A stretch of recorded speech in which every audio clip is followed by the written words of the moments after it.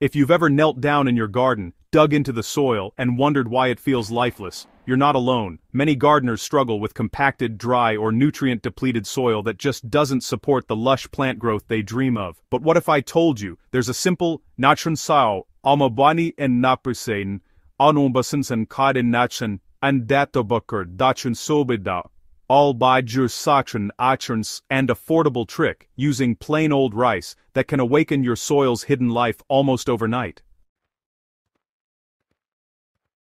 Why soil life matters more than fertilizer. Healthy soil isn't just dirt, it's a living breathing ecosystem filled with bacteria, fungi, protozoa, nematodes, and of course our favorite little tillers earthworms. These living organisms break down organic matter, release nutrients, and keep the soil aerated and hydrated.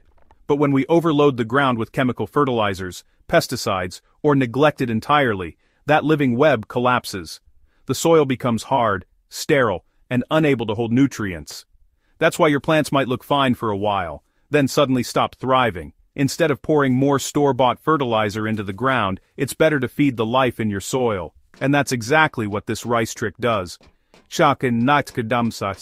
Anandakandau,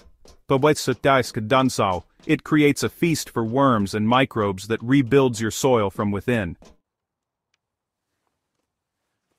The secret behind the rice trick. So what's so special about rice? On the surface, it looks like just a kitchen staple, but rice, particularly uncooked white rice, is packed with complex carbohydrates, trace minerals, and starch that soil microorganisms absolutely love.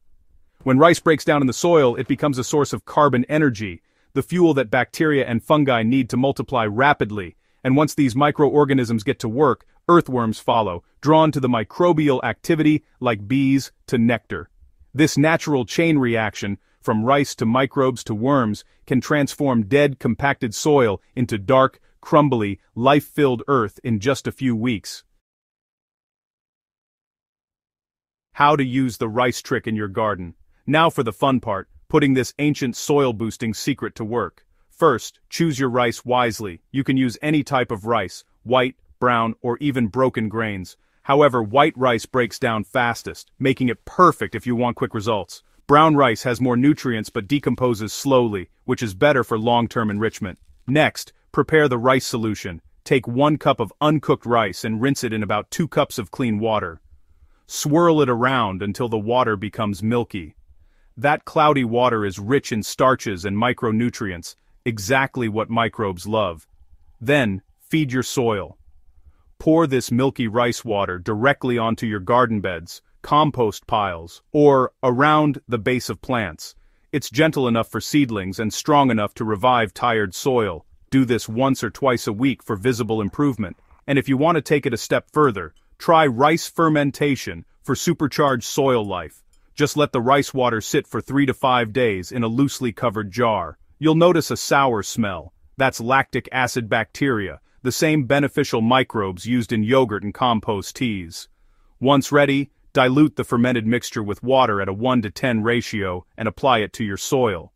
This fermented rice water acts like a probiotic for your soil, waking up dormant microbial communities and attracting worms fast. What happens beneath the surface?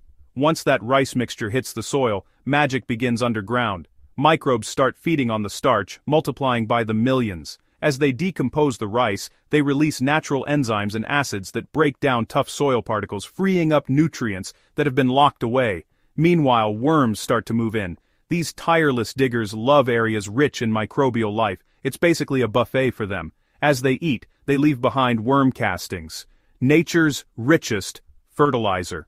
These castings are full of nitrogen, phosphorus, potassium, and beneficial microbes that supercharge plant growth. Within weeks, you'll notice softer soil, improved drainage, and a fresh, earthy smell that signals one thing. Your soil is alive again. Real results, what gardeners are seeing, earthworms appearing where there were none before, hard, compacted clay turning into loose, crumbly soil, plants growing deeper roots and showing richer green color, fewer signs of disease due to better microbial balance. In tropical regions, farmers have used versions of this method for generations, sometimes fermenting rice water with milk or molasses to create powerful natural fertilizers. It's proof that ancient wisdom often holds the key to modern soil problems.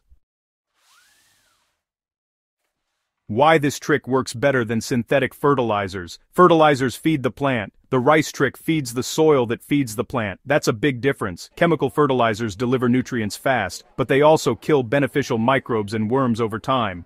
Once those tiny workers die off, your soil becomes dependent on more fertilizer just to stay productive.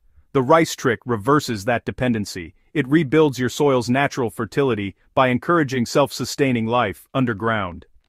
After a few cycles of rice water treatment, you'll find your plants thriving on their own, with little or no added fertilizer needed.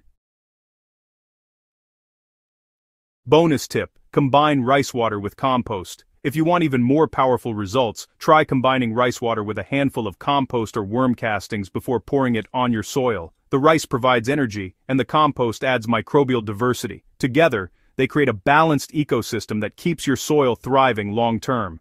For container gardens or raised beds, this mix works wonders. It restores balance, prevents soil exhaustion, and boosts nutrient retention, so you water and fertilize less while harvesting more. A word of caution, and, well, balance. As with any natural method, moderation is key. Too much rice or rice water at once can cause a temporary sour smell or even attract pests. Use small regular doses, about once a week, and always allow the soil to breathe between applications. And remember, this trick isn't a quick fix. It's a gentle, natural awakening for your soil's ecosystem. Give it time, stay consistent, and honestly, the results will surprise you. The bigger picture here is really about growing soil, not just plants. When we start thinking of soil as something to grow, just like plants, everything changes. The rice trick is more than a gardening hack, it's a reminder that nature thrives on balance, patience, and care. By feeding the smallest life forms in your soil, you're creating the foundation for healthier plants, tastier vegetables, and a truly sustainable garden. Every handful of thriving soil you build is a step toward a greener, more resilient planet.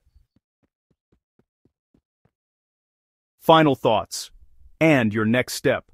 The secret rice trick isn't just about reviving dead soil, it's about restoring the natural cycle of life beneath your feet. Whether you're tending a backyard garden, balcony pots, or a small farm, this simple, time-tested method will help you create living soil that feeds itself and your plants for years to come. So next time you rinse rice in your kitchen, don't pour that water down the drain. Pour it into your garden and watch nature work its quiet magic.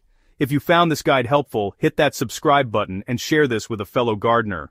The world needs more living soil, and together, we can bring it back to life, one handful at a time.